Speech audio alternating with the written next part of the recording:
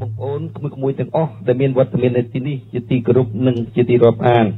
ថ្ងៃនេះខ្ញុំចង់និយាយអំពីរឿងផ្សេងទេប៉ុន្តែឲ្យតែជួបដេចគុណខឹមបន្លឿមគឺដឹងតែមានគំនិតទស្សនៈថ្មីថ្មីតែរៀងរហូតតែមកអញ្ចឹងបាន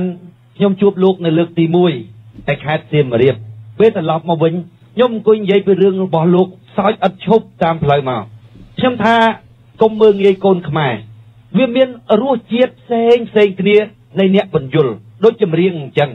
មហោរីវាបរោះផ្សេងទៅកន្ទ្រឹមវាបរោះផ្សេងទៅបត់ញាក់បត់ញ័រវាមានសន្តានរបស់វាផ្សេងទៅវាមានលក្ខណៈពិសេសផ្សេងផ្សេងគ្នាទៅជួបតែគុណខំមិនលឿមម្ដងណាក៏មានរឿងថ្មីរបស់លោកទេពកសលរបស់លោកយើងទៅមិនរួចតែហ្មងរបៀបរបស់លោកគឺទៅមករបៀបរបស់លោកអញ្ចឹងតែហ្មងខ្ញុំសូមប្រកាសប្រាប់បងប្អូនថានេះជា ម្ចាស់រឿង this is yet នេះ this is yet ជួបលោកម្ដងណាក៏បានកំណត់ថ្មីដែរក្រោយកំណត់របស់លោកដែលលោកបានបរិយាយរួចហើយជាទូទៅខ្ញុំនិយាយ10វេទិកាមិនទាន់អស់កំណត់លោកផងជាទូទៅគឺអញ្ចឹងហ្មងលោកនាំមកនៅកំណត់ថ្មីថ្មីអាឧទាហរណ៍គួរឲ្យចង់សោចហើយគួរឲ្យយើងយកទៅត្រេះនេះពិចារណាហ្នឹងតែហ្មងលោកមានអាទេពកសលបែបហ្នឹងហ្មងមិនចេះរីងស្ងួតទៀតណាខ្លាំងទៀតណា មកជួបខ្ញុំម្ដងណាក៏ដោយនាំនៅកំណត់ថ្មីថ្មីរឿងកំ pl ែងរបស់លោកបណ្ណសិទ្ធតែកំណត់រហូតខ្ញុំចេះតែអង្គុយមើលមុខលោកខ្មៅអ៊ុញនិយាយមិនច្បាស់ទេមកពីខេត្តសៀមរាបទេពកសលនោះដូចរនិយាយមិនឃើញចេះតែមានរឿងប្លែកប្លែកថាឲ្យតែលោកមកជួបខ្ញុំ2ម៉ោងខ្ញុំកត់យកកំណត់ហ្នឹងទៅនិយាយជួនកាល7 8វេទិកាមិនអស់ទេរឿងរបស់លោកគឺអញ្ចឹងមកបើពីណាចេះឆ្នៃរឿងលោកក៏ស្ដាប់យកកាសែតហ្នឹងទៅស្ដាប់ឡើងវិញ រួចហើយយកមកនិយាយសឹងថា10វេទិកាតអស់កំណត់តែលោកនិយាយមិញផងច្រើនណាស់ហើយល្អទៀតណារាល់ម្ដងគឺអញ្ចឹងហ្មងមិនចេះរៀងឈួនមកម្ដងណាក៏អញ្ចឹងនាំយកអាកំណត់ថ្មីថ្មីម្ដងខ្ញុំសើចហាត់ការអាកំណត់ចង់និយាយនឹងរហូតតែហ្មងខ្ញុំចំណាំមើលលោកតែបញ្ហាបន្តិចផងថាលោកនិយាយទៅអត់ទៅច្បាស់អញ្ចឹងណាអត់ទៅមានធម៌ពលព្រោះអត្តន័យនោះគឺខ្លាំងហ្មងបើស្នាជាលោកមានសង្ឃិកាច្បាស់ហើយប្រកបដោយធម៌ពលទៀតទៅ គឺឆក់យកសម្លេងរបស់អ្នកស្ដាប់ហ្មងទី1ទស្សនៈរបស់លោកល្អទី2លោកនិយាយដោយធម្មជាតិរបស់លោកលោកអត់កាច់កង់ណានិយាយដោយធម្មជាតិរបស់លោកមានន័យថាចិត្តរបស់លោកយ៉ាងម៉េចលោកនិយាយអញ្ចឹងអាភាសាបេះដូងនឹងហើយដែលវាតកិច្ចបេះដូងរបស់អ្នកស្ដាប់ថាភាសារបស់យើងនិយាយមិនចេញពីបេះដូងទេអ្នកស្ដាប់ក៏អត់បានប៉ះភាសាបេះដូងរបស់យើងដែរគឺប៉ះភាសាឥឡូវខ្ញុំកណ្ដាលថាភាពមានរឿងត្រូវនិយាយនៅរាត្រីនេះ ហើយក៏ដាក់ចំណងជើងឲ្យថាត្រូវសុំខមាទោលោកព្រោះបាបធ្ងន់ណាស់នេះគឺខ្ញុំកណ្ដាលភាព ដាក់ចំណងជើងមុននេះភ្លាមភ្លាមនឹងទេហើយចំណងជើងនេះទៀតសតខ្ញុំកណាអាត្មានឹងធ្វើការបរិយាយឲ្យញាតិញោមបានស្ដាប់បានតាមដានព្រោះរឿងនេះបើយើងគិតឲ្យសពសពទៅ តាំងពីចំនួនព្រះចំនួនសឹងតែគ្រប់ចំនួនណាក៏ដោយភាសាខ្មែរយើងយើងយកមកអប់រំទូលមានកូនចៅអីជាដើមគឺយើងតែងតែធ្វើការបញ្យល់អំពី ចំពោះបុគ្គលដែលខឹងបន្ទុះទៅនឹងអ្នកមានសិលបន្ទុះទៅនឹង អ្នកមានគុណអ្នកមានគុណធម៌បន្ទុះទៅនឹងបុគ្គលដែលមិនឆ្លើយមិនខឹងតបតរហូតនៅក្នុងកម្ពីដេកាព្រះអង្គទ្រង់ត្រាស់សម្ដែង លើកឡើងរហូតដែលធ្ងន់ធ្ងរទៅទៀតនឹងគឺបន្ទុះទៅកាន់ពួកអរិយបុគ្គលណាមាននៅក្នុងបទគាថាថាអរិយវអរិយអរិយអរិយុបវេតណាអរិយុបវេតនោះ ដែលបន្តទៅកាន់អរិយបុគ្គលបាបធ្ងន់ប៉ុន្តែនៅក្នុងករណីនេះ ដែលយើងលើកយើងមិនបានគិតឬសំដៅដល់ថា អ្វីដែលពួក LDP បន្ទុះតបជេរបតិគេនោះ ទៅកាន់លោកទៅកាន់អ្នកមានសិលទៅកាន់អ្នកទាំងអស់ហ្នឹងយើងមិនបានសង្កត់ធ្ងន់ថាជាអរិយបុគ្គលអីទេប៉ុន្តែបើអ្នកទាំងអស់គ្នាពិចារណាមើលដោយងាយមានមកទទួលយកបានជាហេតុជាផលយើងឧទាហរណ៍ដូចជាទៅលើអ្នកមានគុណអ្នកមានគុណធម៌ទៅលើអ្នកមានសិលណា អ្នកទាំងអស់គ្នាពិចារណាមើលបុគ្គលដែលត្រូវបានពួក LDPJ នៅក្នុងសង្គមអ្នកណាខ្លះបើយើងយកធ្វើការប្រៀបធៀបឬក៏រៀបរាប់ត្រួសត្រាយដែលយើងមើលឃើញជាប្រចាំយើងអត់មានលើកទោសចោតប្រកាន់ឬលើកអំពីអ្វីឲ្យហួសអំពីអ្វីដែលអ្នកទាំងអស់គ្នាជួបប្រទេសទេ យើងឧទាហរណ៍ថាតាំងពីម្ដុំឆ្នាំ2013 2012មកចុះ2012 13រហូត រហូតមកដល់ពេលនេះបុគ្គលដែលមេជួងហើយនឹងក្រុមជួងជេបតិចប្រមាថច្រើនជាងគេគឺ មានដូចជាព្រះអង្គសានសេជាព្រះអង្គគូសុភាពលោកគ្រូអគ្គបណ្ឌិតបុត្រសវងនឹងគឺមុនមុនក្រោយមកនេះ មានទាំងព្រះអង្គហាក់សៀងហៃអឺមន្ត្រីសង្ឃ មួយចំនួនទៅទៀតឥឡូវយើងលើកយកតែប្រមាណព្រះអង្គដែលរៀបរាប់មកមាញ់នេះ ដែលបណ្ដាញសង្គមញាតិញោមបងប្អូនអ្នកលេងនៅ social media ស្គាល់ទី1ស្គាល់ភាគច្រើន ទី2ញាតិញោមដែលជាអ្នកស្ដាប់តាមរលកសំឡេងវិទ្យុក៏ស្គាល់ប្រមាណអង្គនឹងច្រើនផងដែរដោយព្រះអង្គប្រធេរៈ ព្រះអង្គសានសេជាព្រះអង្គគ្រូសានសេជាអីជាដើមនេះខ្ញុំកណ្ណានអាត្មារៀនសូត្រតាមលោកតាំងពីនៅខេត្តទៅនឹងរៀនថ្នាក់បឋមបានពី3ឆ្នាំក៏ស្ដាប់លោករហូតដើមឆ្នាំ2000បើគ្រូអគ្គស្ដាប់តាំងពីកៅជាង ដល់ព្រះអង្គគូសុភាព ខ្ញុំកណាមកប្រហែលជាចូល2008 2007 2008នឹងចាប់ដើមបានអានសភៅលោកហើយក៏នោះគ្រូទឹមសឿតមួយទៀត2009 2010បានជួបលោក ទៅបាត់ដំបងលោកចូលទៅដល់វត្តបានជិះឡានជាមួយលោកនឹងជួបលោកដំបងក៏តង់ព្រះអង្គទឹមសឿតក៏នោះអត់ទាន់សឹកទេដល់យើងងាកទៅមើលទោសនៃការប្រមាថចំពោះបុគ្គលដែលមានប្រទូតបនឹងយើងនិយាយយកតែប្រមាណនឹងសិនបើយើងនិយាយត្រឹមថាបុគ្គលមានប្រទូតបមួយហើយនឹងអ្នកដែលមានគុណធម៌គុណសម្បត្តិអឺយើងយើងយើងមើល ក្រៅពីប្រមាណអង្គនោះអតីតអ្នកចូលរួមក្នុងសកម្មភាព LDP មានដូចជាអំពេចជាដើមដែលគាត់បានលើកដំកើងថាជាអ្នកចេះដឹងជាអ្នកគ្រូជាគ្រូដ៏ដ៏ដ៏ល្បីដ៏ខ្លាំងជាងគាត់នោះគាត់តែងជេរតែងបន្ទោសតបរហូតមួយទៀតអឺបងព្រមធម្មជាតិតារ៉ាល់នោះ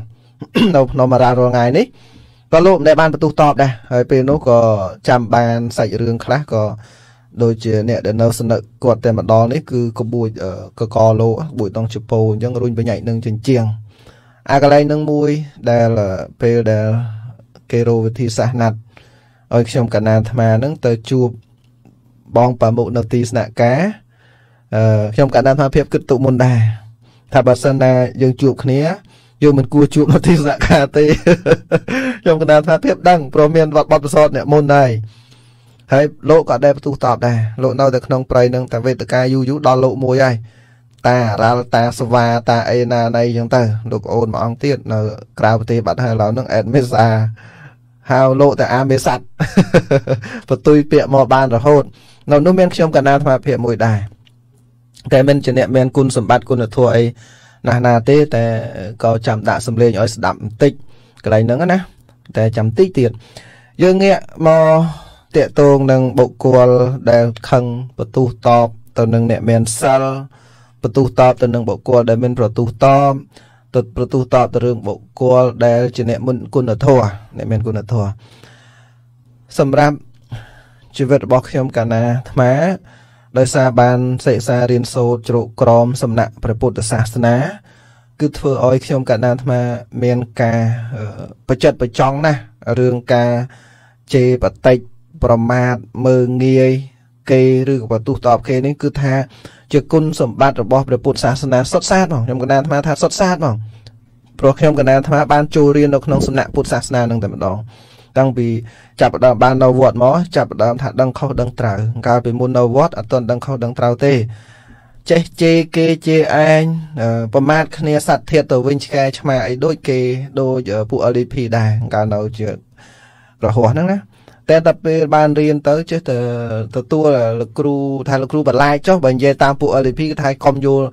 នរកមកបន្លាចអញអញមិនខ្លាចទេអញ្ចឹងណាថាលោកដែលបានបរៀនហ្នឹងថាបន្លាចយើងទៅចុះណែជេរអ្នកនេះ បាបធ្លាក់នរកប៉ុណ្ណេះជេរនៅនោះបាបធ្លាក់នរកប៉ុណ្ណោះអីនេះគឺសិតតែមាននៅក្នុងសត្រាស្លឹករឺតផង នៅក្នុងកម្ពីដីកាផ្សេងផ្សេងនោះដល់អញ្ចឹងយើងរៀនទៅមโนគមវិជ្ជារបស់ពុទ្ធសាសនាចូលក្នុងខ្លួនយើងកាន់តែច្រើនទៅយើងធ្វើអីក៏យើងខ្លាចបាបដែរដល់អញ្ចឹងទៅពាក្យថាប៉ុននោះវាកើតមាននៅពេលដែលយើងខ្លាចបាបរហូតដល់ធ្លាយមកដល់រឿងកម្មពីខ្ញុំកណ្ណានអាត្មាភាពអាននៅរឿងចាំត្រួសត្រាយឧទាហរណ៍ដូចជា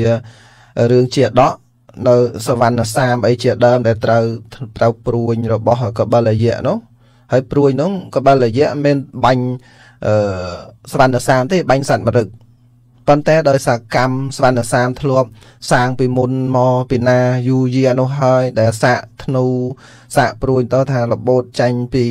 ដើមឈើស្រស់ដែលខ្លួនបាញ់ទៅនោះវាផ្លាតទៅចំឈើពុកដែលមានដង្កៅដួងនៅនោះអីជាដើមដល់នោះត្រូវកម្មហុចផលទី1ទៅ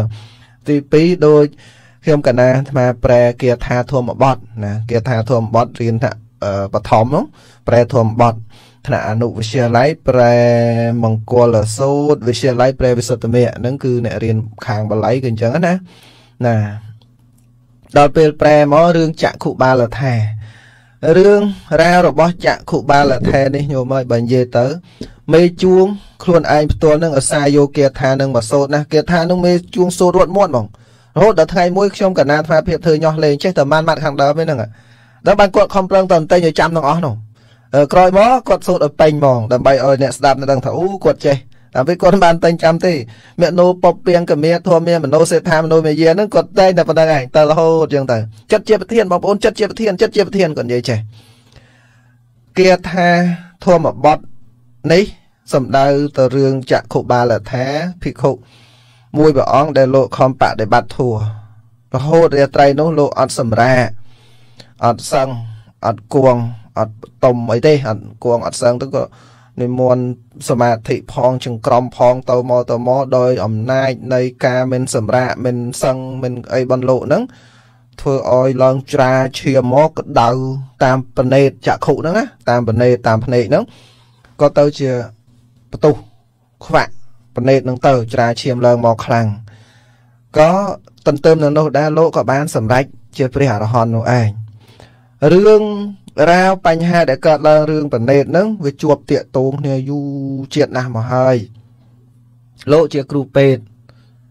ចិត្តល្អដល់ព្យាបាលគេព្យាបាលឯងសពគ្រប់ តែពេលមួយនោះមានស្ត្រីម្នាក់នឹងមកប្រហើបខ្លីៗប្រពេលវេលាយើងមិនអាចទៅអង្គុយនៅទៀនរឿងឯណារកម៉ោងរកនាទីបានទេ យើងសល់យើងមានពេលវេលាសំខាន់សំខាន់ណាស់របស់កម្មវិធីយើងគឺពេលវេលាពិសេសណាស់សូម្បីលេខទូរស័ព្ទប្រកាសឲ្យចូលរួមឧបត្ថម្ភយើងសឹងបានប្រកាសផងឃើញរហូតឥឡូវខែនឹងខ្វះចង់100ហ៎គឺពេលនោះស្ត្រីមេម៉ាយកូនមួយហ្នឹងបានដាក់ចិត្តដាក់កាយថាបើលោកគ្រូព្យាបាលភ្នែកម្ដាយ ភ្នែករបស់ខ្ញុំជាខ្ញុំនិងកូនបងខ្ញុំហ្នឹងគឺនៅបម្រើលោកគ្រូអស់មួយជីវិតនៅរឿងហ្នឹងវិញចេះលោកគ្រូពីដំបូងគាត់មិនទៅទាលក្ខខណ្ឌស្អីទេក្នុងនាមគាត់ជាពេទ្យជាអ្នកសង្គ្រោះដល់ចឹងទៅក៏ស្រាប់តែចាប់ដើមដាក់ថ្នាំអោយបដើមពាក្យចាញ់ព្រមនៅមើលនៅជាមួយលោកគ្រូហ្នឹងគឺបដើមចាញ់ដោយខ្លួនឯងព្រោះខ្លួនឯងជាអ្នកស្ត្រីមេម៉ាយកូនមួយហើយក្រម៉ាយកូនហ្នឹងកំមុំចិត្តកំមុំទៅទៀតណា ក្រអត់លុយដើម្បីឲ្យថ្លៃពេទ្យនោះរួចដាក់ថ្នាំលើកទី3ទៅជាហើយលោកគ្រូពេទ្យបណ្ឌិតមើល3 4ថ្ងៃទៅដឹងអូភ្នែកហ្នឹងភ្លឺមកវិញហើយភ្នែកហ្នឹងភ្លឺមកវិញហើយចឹងក៏ធ្វើជាសួរអ្នកជំងឺធ្វើអីពេលត្រូវសួរអញ្ចឹងថាងលោកគ្រូខ្ញុំអត់មើលឃើញទេតែខ្លួនឯងមើលឃើញរួចហើយហើយបានប្រាប់កូនថាបើសិនណាយើងថាយើងមើលឃើញច្បាស់ណាស់យើងនឹង ត្រូវនៅបំរើគេបំរើលោកគ្រូពេទ្យអស់មួយជីវិតម្ដាយយើងនិងម្ដាយកូនយើងនេះអញ្ចឹងបានសុខចិត្តអត់ធ្វើជាភ្លឺហើយពេទ្យមកបណ្ឌិតមើលថាទេភ្នែកនឹងជាហើយណែភ្នែកនឹងជាហើយហ្នឹងពាក្យខ្មែរយើងនិយាយថាអ្នកដេកលក់ងាយដាស់ដល់ពេលអ្នកធ្វើជាដេកហ្នឹងដាស់មិនក៏ភ្នែកហ្នឹងអញ្ចឹងភ្នែកហ្នឹងជាហើយទៅក៏ចាប់ផ្ដើមដាក់ថ្នាំជាលើកទី2 ហើយដាក់លើកទី2នោះបើតាមបណ្ឌិតវិជាពេទ្យបនគាត់គឺថាជាស្អាតតែម្ដងតែគាត់ក៏បានពោលថាលោកគ្រូខ្ញុំកាន់តែឈឺហើយមើលអត់ឃើញទេឥឡូវភ្នែកខ្ញុំកាន់តែឈឺផ្សាអញ្ចឹងណាលោកគ្រូដឹងថាអូម្នាក់នេះធ្វើពុតទេអាថ្ងៃមុននៅមិនទាន់ជាដាច់100%ថ្ងៃហ្នឹងគឺថាជាដាច់ហើយបានធ្វើពុតអញ្ចឹងលោកគ្រូដាក់ថ្នាំលើកទី3ទៀតលើកទី1ទី2ទី3ជាអញ្ចឹងថែមអាលើកទី4ហ្នឹង ដើម្បីឲ្យជាមែនទែនដល់លើកទី5ហ្នឹងអាជាមែនទែនហើយដាក់លើកទី6ដាក់ឲ្យឈឺវិញដាក់ឲ្យខ្វាក់វិញអញ្ចឹងទៅនេះវិញចាហើយចុះបើវិជាពេទ្យគាត់ខ្លាំងប៉ុណ្ណឹងដែរដល់ពេលទៅដាក់ឲ្យជាហើយបែរជាអ្នកជំងឺគេមិនព្រមទទួលយកក្របភ្នែកមិនទទួលយកមិនព្រមទទួលយកពលឺព្រះអាទិត្យក៏ដាក់ឲ្យងឹតទៅវិញទៅងឹតតទៀតបាត់រហូតទៅ ដោយអំណាចនៃបាបកម្មកម្មពៀនឯងបានចងតាមរហូតមកដល់ជាជាតិចុងក្រោយរបស់ចក្ខុបាលថែនេះដែលកំពុងតែចង្ក្រមកំពុងតែធ្វើសមាធិហ្នឹងក៏បន្ទុះភ្នែកពីការលងឹតប្រណេតហ្នឹងទៅនេះគឺជាបាបកម្មមួយរបៀបដែលយើងងាយងាយយល់ទេឥឡូវយើងទាញចូលមកដល់ពួក LDP បន្តិចខ្ញុំកណាអាត្មាបានបណ្ដោះ ពួក LDP ច្រើនណាស់មែនទែនទៅ ហើយបុគ្គលដែលខ្ញុំកណានអាបណ្ដោះភាកច្រើនតែម្ដងគឺខ្ញុំកណានអាភាកអត់ឲ្យជេរទេអត់ឲ្យជេរទេដូចអ្នកដែលស្ដាប់កម្មវិធីពោជ័យជីវិតរាល់ថ្ងៃហ្នឹងជាពិសេសនោះតើបើបានស្ដាប់សម្ដីរបស់ញោមញោមនៅខាងហើយញោមធ្វើទូទៅតែថានិយាយត្រឹមញោមញោមដែលយើងធ្លាប់ទើបនឹងប្រស្រ័យតាកតងមួយរយៈប្រហែលខែចុងក្រោយនេះគឺនៅសនួលនៅខេត្តកញ្ចេះនោះដែលគាត់ស្ដាប់កំពុងតែស្ដាប់នោះ គាត់ដល់ហាម5អ្នកដតីដែលតែងតែជេរបតិចទៅបងប្រមុខហ្នឹងណាគាត់ថាកុំទៅជេរវាអាណិតវាទៅវាវាឈួតទេវាផ្សាយផ្សាទេអញ្ចឹងថាទោះមកនិយាយតាមពាក្យគាត់ប្រកួតចាស់ហើយអាយុ70 80ហើយហ្នឹងគាត់ស្ដាប់គាត់នៅចងចាំនឹងល្អសឹងអីហ្នឹងញោមញោមហ្នឹងដល់ពេលអញ្ចឹងក្មេងដែលខ្ញុំកណានថាភាពបានបណ្ដោះគឺឲ្យតែចាញ់ពាក្យជេរខ្ញុំកណានថាភាពទៅហាមចាញ់ពាក្យជេរទៅហាមហាមរហូត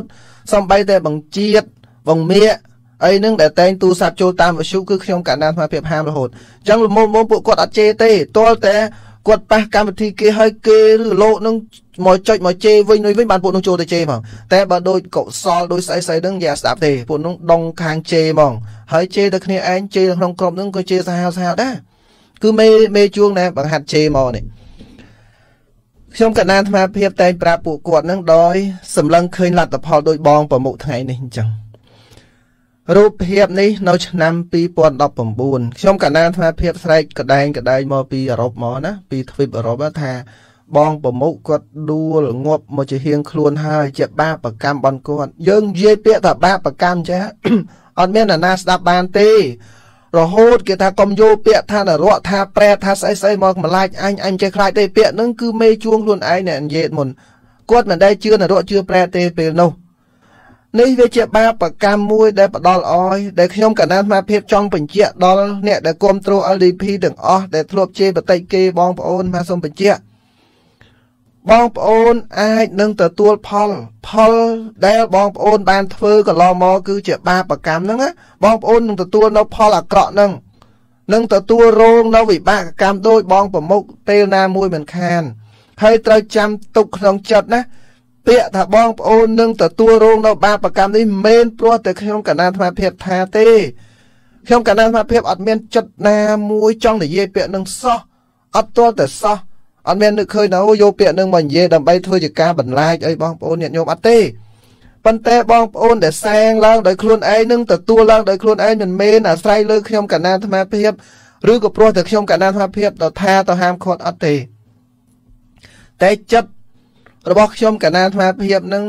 គឺមានការអាណិតអាសូរដល់បងប្អូននោះដែលនឹងទទួលរងទុកនឹងរងទុកទោសនឹងគឺថាធ្វើដោយខ្លួនឯងសាងឡើងដោយខ្លួនឯងធ្វើឲ្យប្រឡាក់ដោយខ្លួនឯងក៏ត្រូវតែលៀងជំរះដោយខ្លួនឯងយើងបានត្រឹមមកប្រាប់ប៉ុណ្ណឹងទេបើបងប្អូនមិនមានការសុំខមាលទោសដល់បុគ្គលដែលបងប្អូនដែលអ្នកទាំងអស់គ្នាធ្លាប់ជេរបតិចជេរតបដោយព្រះអង្គគូសភាបងសានសេជាលោកគ្រូអគ្គបណ្ឌិត យើងនិយាយតែប្រមាណអង្គព្រះអង្គហាក់សៀងហៃលោកដែលមិនបានខឹងតបអ្នកដែលមិនបានខឹងតបជាមួយអ្នកទាំងអស់គ្នានៅនោះមានទោសរហូតដល់10យ៉ាងនោះជេរបតិចខឹងតបបន្ទុសរាយជាមួយនឹងអ្នកមានសិលជាមួយនឹងអ្នកមានគុណធម៌ជាមួយនឹងបុគ្គលដែលមិនប្រទូសតបវិញ អ្នកនឹងទទួលរងនៅទោសរហូតដល់ទៅ10យ៉ាងប៉ុន្តែក្នុងនោះ ដោយយើងមិនធ្វើឲ្យពឹសស្ដារក្នុង10យ៉ាងនោះយើងសង្ខេបដោយបន្តិចមកថា មានវិកលវិការនឹងមួយផង មានលបស្តេកហ្នឹងណាមានឈួតហ្នឹងណាវិកលវិការមួយផង នៅក្នុងកំណាបរបស់តាអ៊ូចុងកូនតាងុយនោះ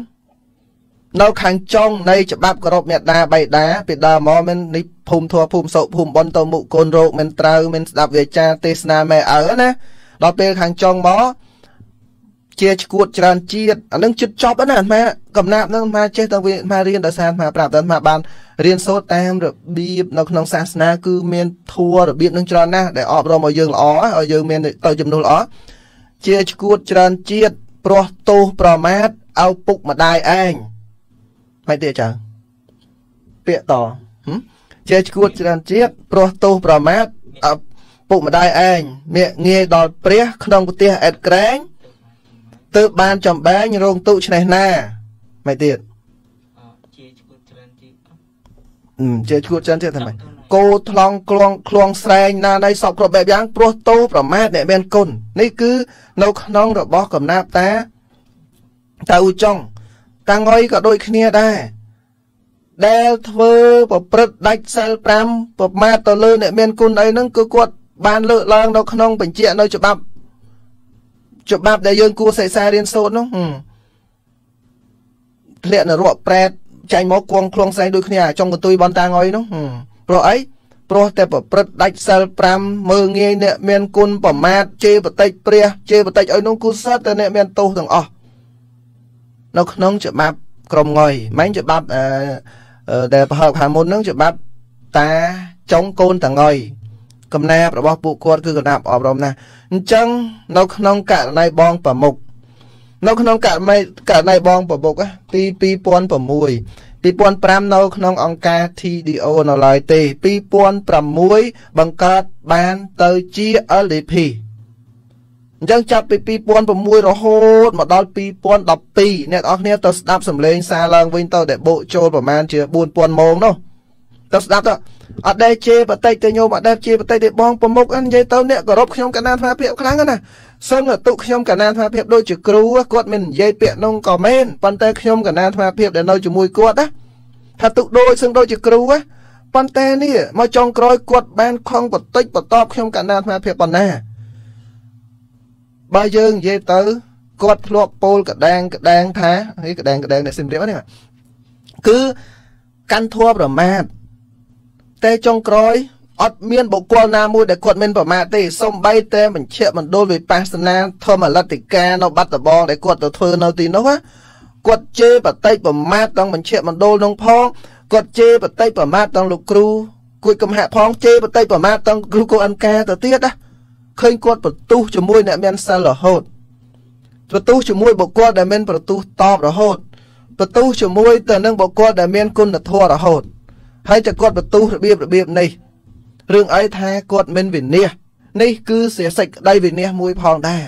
ក្រៅតែពីមានទោសវិកលវិការយ៉ាងណាហើយហ្នឹង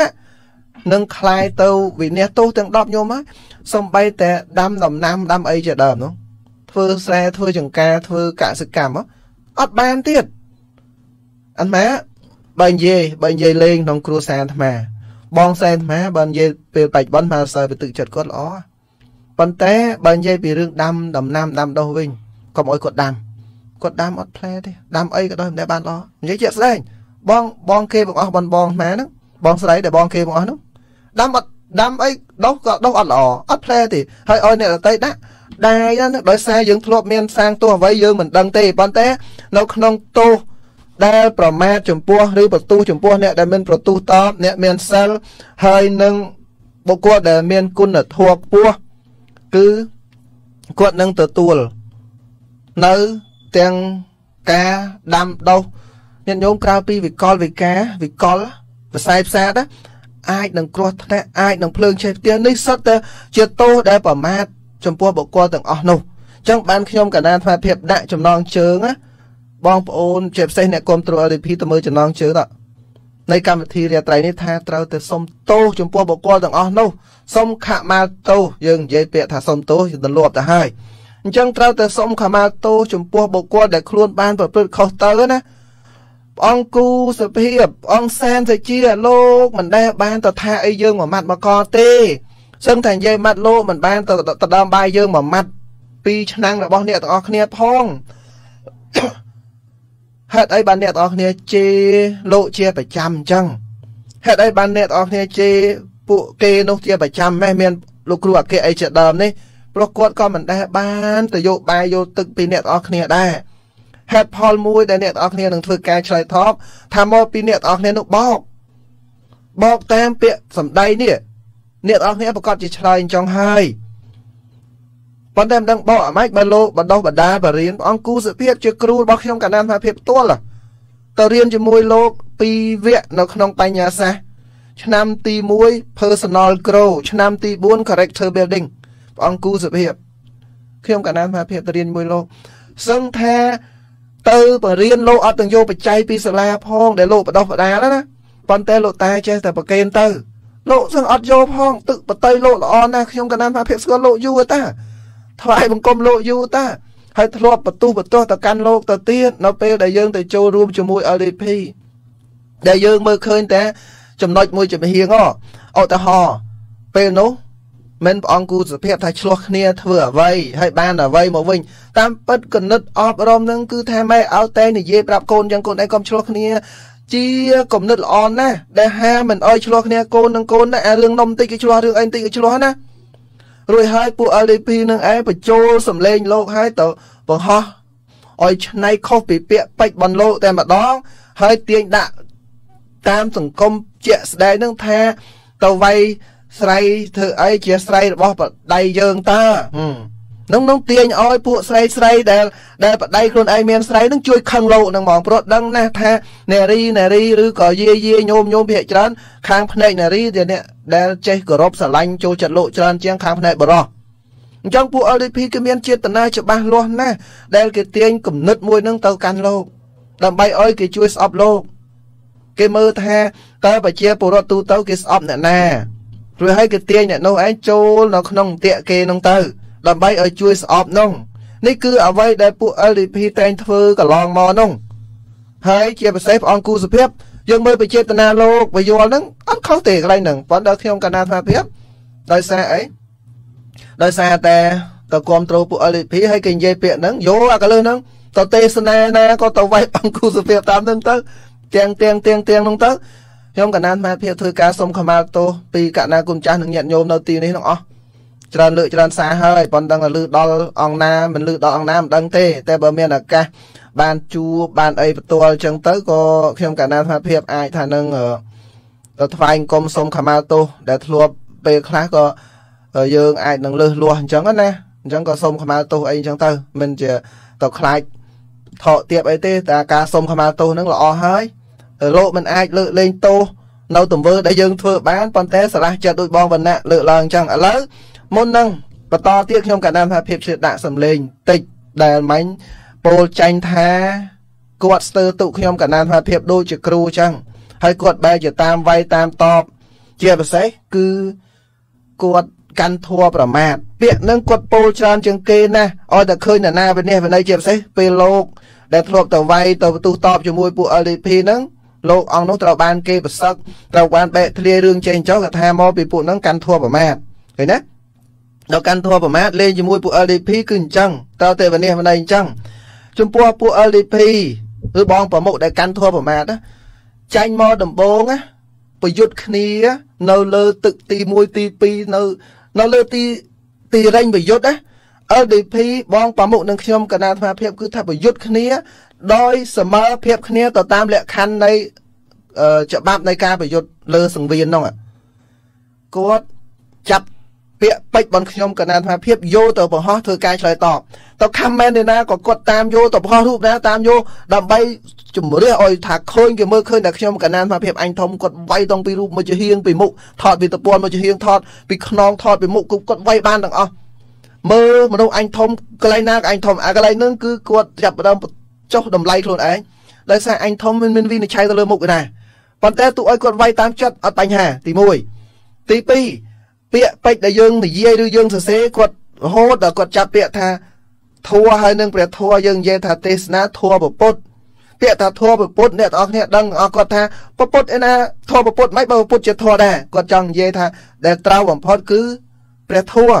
ជាមេរៀនរបស់ពុទ្ធប៉ុន្តែគាត់ក៏និយាយពាក្យនឹងទៀត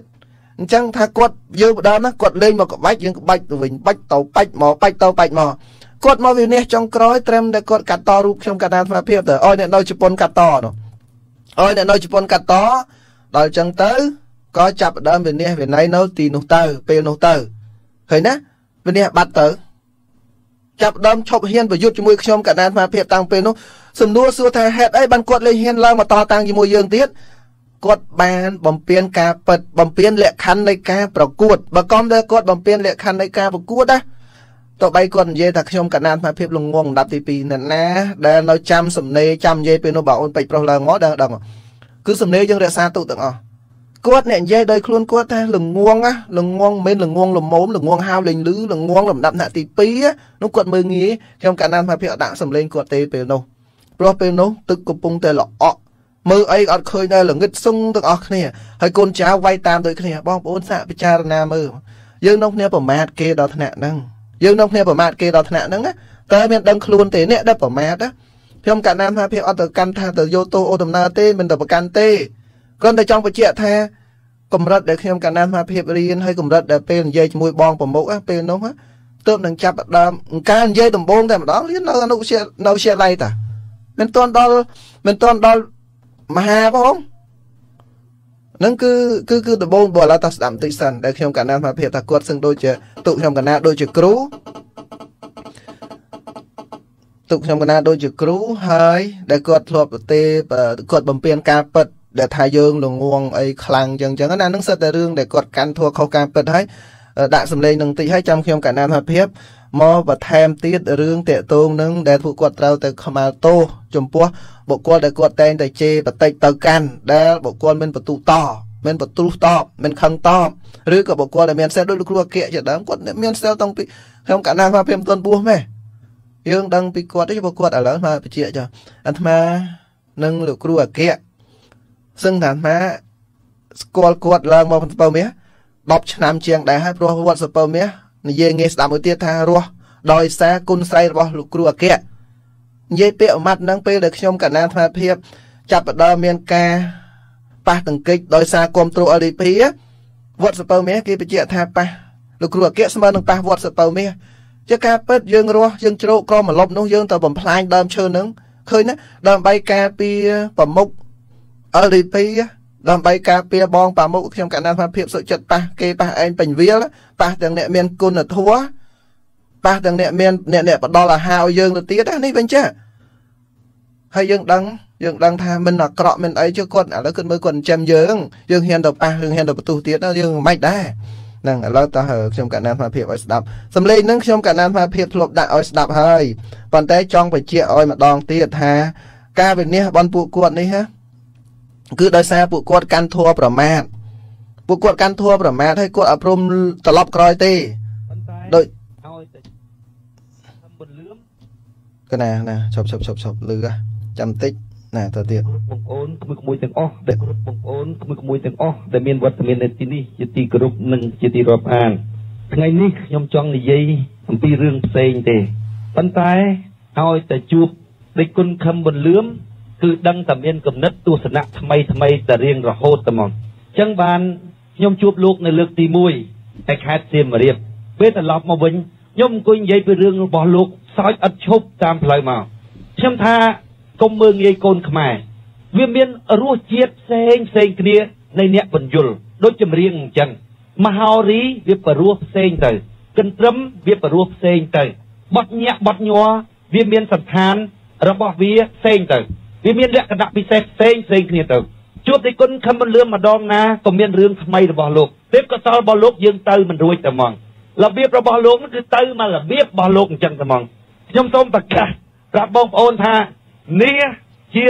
ម្ចាស់រឿង this is yet នេះ this is yet ជួបលោកម្ដងណាក៏បានកំណត់ថ្មីដែរក្រោយកំណត់របស់លោកដែលលោកបានបរិយាយរួចហើយជាទូទៅខ្ញុំនិយាយ10វេទិកាមិនទាន់អស់កំណត់លោកផង ជាទូទៅគឺអញ្ចឹងបងលោកនាំមកនៅកំណត់ថ្មីថ្មីអាឧទាហរណ៍គួរឲ្យចង់សោចហើយគួរឲ្យយើងយកទៅត្រេះនេះពិចារណាហ្នឹងតែមកលោកមានណាទេពកសលបែបហ្នឹងហ្មងមិនចេះរីងស្ងួតទៀតណាខ្លាំងទៀតណាបើជួបខ្ញុំម្ដងណាក៏ដោយនាំនៅកំណត់ថ្មីថ្មីរឿងកំ pl ែងរបស់លោកបណ្ឌសិទ្ធតែកំណត់រហូតខ្ញុំចេះតែអង្គុយមើលមុខលោកខ្មៅអ៊ុញនិយាយមិនច្បាស់ទេមកពីខេត្តសៀមរាបទេពកសលនោះទុយរោនិយាយមិនឃើញចេះតែមានរឿងប្លែកប្លែកថា ឲ្យតែលោកមកជួបខ្ញុំ2ម៉ោងខ្ញុំកត់យកកំណត់ហ្នឹងទៅនិយាយជួនកាល7 8វេទិកាមិនអស់ទេរឿងរបស់លោកគឺអញ្ចឹងមកបើពីណាចេះឆ្នៃរឿងលោកក៏ស្ដាប់យកកាសែតទៅស្ដាប់ឡើងវិញ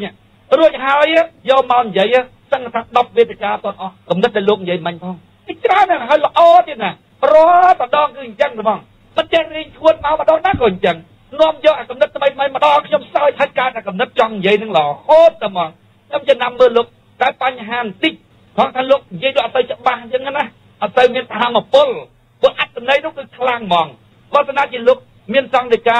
ច្បាស់ហើយប្រកបដោយធម៌ពលទៀតគឺឆក់យកសម្លេងរបស់អ្នកស្ដាប់ហ្មងទី1ទស្សនៈរបស់លោកល្អទី2លោកនិយាយដោយធម្មជាតិរបស់លោកលោកអត់កាច់កង់ណានិយាយដោយធម្មជាតិរបស់លោកមានន័យថាចិត្តរបស់លោកយ៉ាងម៉េចលោកនិយាយអញ្ចឹងអាភាសាបេះដូងនឹងហើយដែលវាតកិច្ចបេះដូងរបស់អ្នកស្ដាប់ ថាភាសារបស់យើងនិយាយមិនចេញពីបេះដូងទេ អ្នកស្ដាប់ក៏អត់បានប៉ះភាសាបេះដូងរបស់យើងដែរគឺប៉ះភាសាប្រឌិតរបស់យើងកណាសុំខ្ញុំកណាអាត្មាភាពសុំប៉ុណ្ណឹងចុះហើយអ្នកទាំងអស់គ្នាស្ដាប់បានហើយនៅអ្វីដែលអាត្មាខ្ញុំកណាអាត្មាភាពចង់ដាក់នោះគឺចង់បញ្ជាក់ឲ្យឃើញមួយចំណុចថាដែលដែលលើកមករឿងតំកើងខ្លួនឯងតិចថាគាត់សឹងទុកខ្ញុំកណាអាត្មាភាពដូចជាគ្រូប៉ុន្តែចុងក្រោយហេតុអីបានគាត់ជេរ ទន្ទឹមពីគាត់ជេរហើយ មានមួយចំណុចទៀតគឺគាត់ប្រមាថទៅលើ ពាក្យថាល្ងងល្ងងហ្នឹងល្ងងរហូតដល់ហៅមិនលឺពាក្យហ្នឹងណាបើសិនណាយើងយកមកធ្វើការប្រៀបធៀបបន្តិចណាគ្រាន់តែនិយាយដើម្បីប្រឡប់អ្នកគ្រប់គ្រងខ្លួនទេតែមិនមានមនុស្សណាល្ងងដាប់ទី1ល្ងងដាប់ទី2ដោយគាត់ថាទេអេបើថាមានក៏មានចុះប៉ុន្តែដូចខ្ញុំកណាថាភាពជាដើមនេះថាដែលគាត់និយាយពាក្យទាំងអស់ហ្នឹងទៅណា កាលពីមុននោះដែលគាត់និយាយមកថាមើលមើលចេះណារហូតដល់គាត់ប្រើភាសាមួយថាគាត់ណាពួកយើងណាក្រុមយើងណាតើមិនរួចនឹងលោកទេអត់ទៅរួចនឹងលោកទេបើលោកមានគំនិតបតុយពីក្រុមបនយើងណាគឺថារងរបស់យើងអលំគាត់និយាយចឹងក្នុងវីដេអូនោះគាត់និយាយរហូតថាអត់មានក្រុមណាដតីណាសំបីទៅរដ្ឋាភិបាលគាត់និយាយចឹងមិនអាចរំលាយក្រុមយើងបានទេប៉ុន្តែបើគំនិតលោកបតុយលោកដើរប្រើបតុយពីយើងរំលងរំរលំរងយើងមក លោកប្រៀបធៀបថាម៉េចហុំរោងផ្សេងទៅមហោរីផ្សឹងទៅលោកប្រៀបធៀបទៅនឹងបទភ្លេងនៅស្រុកខ្មែរយើងអត់អស់ចិត្តហើយណាលោកប្រៀបគាត់ប្រៀបធៀបច្រឡំលោកគាត់ប្រៀបធៀបអើលោកក៏លោកទៅលោកប៉ាមុខគាត់ប្រៀបធៀបទៅដល់ពិភពលោកទៀតមិនឃើញចាក់សាន់បើថាយើងមិនឃើញចាក់សាន់ថាដូចបើយើងជា Celine Dion Celine Dion នេះគឺជាអ្នកច្រៀងបទចម្រៀង Titanic ណា My Heart Will Go On ចំណងជើងនោះល្បីជាងគេហើយជនជាតិកាណាដាច្រៀងយកទៅថតក្នុងរឿង Titanic នោះអារឿងបាក់សមុទ្របាក់ទូកកដាលសមុទ្រនោះ Titanic នោះអារឿងពិភពលោកលិចទឹកហើយនឹងជួយផែនដីថ្ងៃទី30ខែសីហានោះនិយាយលេងណាណារឿងហ្នឹងរឿងអាចេកនឹងរស់ហ្នឹងតួអាចេកតួប្រុសស្រីតួរស់ហ្នឹង My Heart Will Go On ហ្នឹងបេះដូងមហាសមុទ្ររឿងហ្នឹងចំណងជើងហ្នឹងណាល្បីណាស់បត់ហ្នឹង អញ្ចឹងគាត់ប្រៀបធៀបហ្នឹងថាបើយើងជា Celine Dion ព្រោះសំឡេងក្អួនក្អោនណាស់ដែលគុណខំបន្លឿនណាគឺជា Michael Jackson Michael Jackson វណ្ណាក៏ស្គាល់តែទី1គឺបទចម្រៀងបានគាត់ទី2ក្បាច់រាំបានគាត់គឺតែខ្លាំងណាស់ល្បីណាស់ Michael Jackson នោះល្បីច្រើនបទទៅទៀតប៉ុន្តែគាត់ស្លាប់បាត់ដោយសារប្រតិកម្មលេណាប្រតិកម្មស្បែកផលិតលេអត់លក់អត់ប្រើលេពេកអញ្ចឹងបើសរុបពាក្យនេះបន្តិច ក៏អាចនិយាយបានថាខ្ញុំកណ្ដាលអាភិបក៏អាចជាអ្នកមានគុណធម៌ខ្លះខ្លះមានគុណខ្លះខ្លះចំពោះគាត់ហើយក៏បានបញ្ជាក់ខាងដើមថាជាអ្នកបដោះបដាពួក LDP មួយចំនួនប៉ុន្តែត្រូវបានពួក LDP មួយចំនួនដែលខ្ញុំកណ្ដាលអាភិបបដោះបដាដែរចាប់ផ្ដើមជេរតបមករកខ្ញុំកណ្ដាលអាភិបវិញនៅពេលដែលខ្ញុំកណ្ដាលអាភិបចាញ់ពី LDP វិញចេះតែមិនអីទេអ្វីដែលខ្ញុំកណ្ដាលអាភិបចង់ដាស់តឿននៅរាត្រីនេះទី1គឺខ្ញុំកណ្ដាលអាភិប សង្កត់ឲ្យធ្ងន់បន្តិចហើយក៏មិនលើកដំកើងទេណាសូមបញ្ជាក់ថាសង្កត់ឲ្យធ្ងន់ដោយមិនមែនលើកដំកើងគឺក្រែងលោ មានអរិយបុគ្គលណាក្រែងលោមានអរិយបុគ្គលព្រោះយើងមិនអាចដឹងថានរណាមានអរិយបុគ្គលឬអរិយបុគ្គលទេយើងអត់មានកលែងកត់សម្គាល់ណាឲ្យច្បាស់ទេរាល់ថ្ងៃនេះ ដោយបងអូនបងអូនកូនក្មួយបងប្អូន LDP ដែលនាំគ្នាយល់ថាពូនឹងជាអរិយបុគ្គលចឹងឬក៏ថាជាព្រះព្រំជាព្រះបាទធម៌មឹកជាបុគ្គលសម្ដេចឈានអីហ្នឹងឃើញសំបីមនុស្សមកតោនោះឡប់ដែរអញ្ចឹងក៏យើងសន្និដ្ឋានថាគាត់ជាអរិយបុគ្គលអញ្ចឹងទៅរួមបុគ្គលដែលមិនឆ្លើយតបទាំងឡាយនេះដែលមានមិនមានការប្រទូតបមិនមិនឆ្លើយតបទេមិនមានការប្រទូតបនេះថាមិនត្រូវលោកជាអរិយបុគ្គល ថាមិនត្រូវបុគ្គលក្នុងចំណោមប្រមាណនោះអាចមានមួយអង្គពីររូបអីចឹងទេជាអរិយបុគ្គលអញ្ចឹងបើសិនណាក្នុងអរិយបុគ្គលវិញគឺអរិយូបវិទ្យាហ្នឹងគឺថាមានទោសខ្លាំងណាស់ណាមានទោសមែនតើទោសធ្ងន់ណាស់ណាព្រះអរិយបុគ្គលឧទាហរណ៍ព្រះសម្មាសម្ពុទ្ធជាដើមព្រះស្រីបុត្រព្រះស្រីបុត្រគេគេរងរឿងលោកច្រើនណាគាត់តែលើថាព្រះស្រីបុត្រជាអរិយបុគ្គលដែលអត់មានការខឹងតបមានព្រាមមានបុគ្គលមួយចំនួនចេះតែមករោជេបតិចលោក ចង់ដឹងថាលោកខឹងតបមិនខឹងតបប៉ុន្តែជេរហើយរកជេររកលោកអត់ខឹងតបទេលោកធម្មតាញាតិញោមហើយតែយើងទៅបន្ទូឲ្យជាមួយបុគ្គលដែលមានបន្ទូតបហ្នឹងណាកដោតែខ្លួនឯងដុតតែខ្លួនឯងដូចយើងស្បាំងកម្មបច្រាស់ខ្យល់អញ្ចឹងដល់អញ្ចឹងអ្វីដែលខ្ញុំកណ្ដាលថាភាពផ្ដាំផ្ញើទៅបងប្អូនបងប្អូនរៃបុគ្គលហ្នឹងអរៃបុគ្គលបងប្អូនអរិពីនោះបងប្អូនមើលឃើញបងប្រមុខនៅឃើញឥឡូវមើលច្បាស់ទៅមើលបងប្រមុខយើងប៉ះគ្នាខ្លាំងចុងឆ្នាំ2018ហើយនឹងដើមឆ្នាំ2019 ចន្លោះពាក់កដាលឆ្នាំ2019បងប្រមុខដួលដួលប្រកាច់ស្លាប់អស់មកជាហៀងខ្លួននេះរូបភាពដែលខ្ញុំកណ្ដាលថាភាពដាក់ឲ្យត្រួសត្រាយដោយសារដាក់រូបភាពនេះនៅពេលនេះ គឺខ្ញុំកណ្ដាលថាភាពយល់ឃើញថា ពេលនេះកម្លាំងរបស់ពួកគាត់វាធូរវាបាក់បន្តិចកម្លាំងវាខ្សោយវាអត់ខ្លាំងដូចមុនកម្លាំងខ្លាំងឧទាហរណ៍ចេះពេលដែលមនុស្សមានកំហឹងកលាករពីររូបកំពុងតែខឹងវាយគ្នា ទៅខាត់អត់ចង់ឈ្នះទេអញ្ញាកដាទៅខាត់ចង់វាយវាយវាយវាយវាយវាយបដោយឲ្យវាយ4 5នាទី2 3ទឹកទៅទៀតទៅចាប់ដើមអស់កម្លាំងហើយអញ្ចឹងយើងអស់កម្លាំងចិត្តបនគេលេងចង់វាយមកចង់ដើរឆ្វែលដើររិញដើរដើរដើរយូយូចលោគ្នាមួយអញ្ញាកដាបខំតែពុកឲ្យវាយក៏អត់ចង់វាយដែរដើរដើរប៉ះស្វាគមន៍គ្នាមួយដើរដើរប៉ះដៃស្វាគមន៍គ្នាមួយនោះពេលអស់ហ៎ប៉ុន្តែនៅពេលដែលមានកម្លាំងខាត់អត់ឈប់ទេចង់ខាត់ stop stop អត់ឈប់ទេ អា stop ទៅហើយយកដៃយកជើងទលុចូលប្រឡោះរវាងកីឡាករទាំងពីរហើយឆ្លៀតបោះដៃទៀតបោះជង្គង់ទៅរកគ្នាទៀតហ្នឹងពេលក៏នៅកម្លាំងខ្លាំងពេលដែលខ្ញុំកណ្ដាលថាភាពមាននិយាយរឿងអស់នេះនៅពេលមុនគឺពួក LDP កំពុងតែងប់ងល់កំពុងតែពង្វេងវន់ខ្លាំងណាស់ខ្ញុំកណ្ដាលថាភាពបានសាកលបងហើយថាបងប្រមុខគាត់ដួលសម្លប់គាត់ប្រស័យទាញសរសៃខូចផ្សៃផ្សាតហើយយកទៅពេទ្យនៅសង្ហបុរីយកទៅពេទ្យ ដួលភ្លាមទៅជូនទៅបាត់ដំបងចាញ់ទៅថៃថៃក៏អត់ទទួលថាមិនអាចទទួលមើលបានបានបញ្ជូនទៅសង្ហបុរីហ្នឹងដើមរឿងរ៉ាវដំបូងដោយថាត្រូវចំណាយលុយអស់ពី30000ដុល្លារក្នុងការព្យាបាលនោះក៏ចាប់ផ្ដើមចាញ់គំនិតមួយថាដើម្បីយកលុយទៅព្យាបាលគាត់យើងចាប់ផ្ដើមបកុសប្រកាសបង្ហោះទៅប៉ុណ្ណឹងអត់អត់បញ្ហាទេពួកអ្នកគ្រប់គ្រង LDP នោះប៉ុន្តែដោយក្នុងនោះកុំអោយខ្មាស់គេគាត់និយាយខ្លួនគាត់កុំខ្មាស់គេសុខចិត្តលាកបងប្អូនឲ្យគ្រាន់តែគាត់ឈឺណាលាក លាកឲ្យឈឹងឈឺអាមនុស្សឥឡូវយើងនិយាយអញទួយអញធំតិចមើលគ្រាន់តែឈឺមិនហ៊ានប្រាប់គេតែឈឺថាអញទួយអត់នោះអស់អញអត់នោះខ្លាចគេដឹងថាខ្លួនឯងឈឺខ្លាចគេដឹងថាខ្លួនឯងសន្លប់ខ្លាចដឹងថាខ្លួនឯងងាប់មកជាហៀងខ្លួនអត់ហ៊ាននិយាយប្រាប់គេសុខចិត្តលាកហើយចុចយកឈ្មោះនៅនោះមានបងលួនវណ្ណៈដែលគាត់ធ្លាប់ប្រទូសតប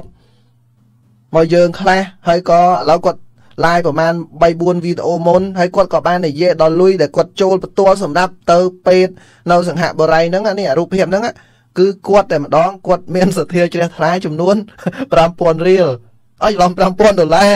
បងវណ្ណៈម្នាក់ឯងគាត់ចំណាយទៅលើជំងឺគាត់ពេលទៅទៅនោះ5000ដុល្លារនឹងគ្រាន់បងវណ្ណៈអ្នកណាចង់ដឹងទៅសួរទៅ Facebook បងវណ្ណៈនៅនេះឃើញឡើងមើលប៉ុន្តែគាត់មានសេអត់ បើមានមើល account គាត់នឹងទៅសួរនាំទៅចង់ដឹងរឿងអីអីទាំងអស់សួរនាំទៅគាត់ក៏ធ្លាប់ទូរស័ព្ទចូលកម្មវិធីយើងបកស្រាយគួរសមណាស់ដែរទៅហើយរឿងអស់ហ្នឹងនោះគឺ5000ដុល្លារដើម្បីចូលរួមជួយក្នុងការព្យាបាលជំងឺនៅសង្ហបុរី